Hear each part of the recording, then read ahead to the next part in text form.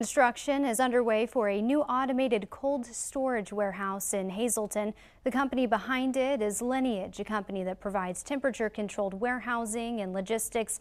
The Hazleton facility will span approximately 386,000 square feet and is expected to be finished this fall.